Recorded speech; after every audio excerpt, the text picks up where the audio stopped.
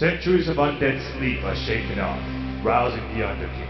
No mortal force can stop his fateful reunion with the ghost of his heart, and he joins with it in an all-consuming fiery embrace. And for just one moment, his flesh and blood, then blessed death is granted to Kairos after his battle rage.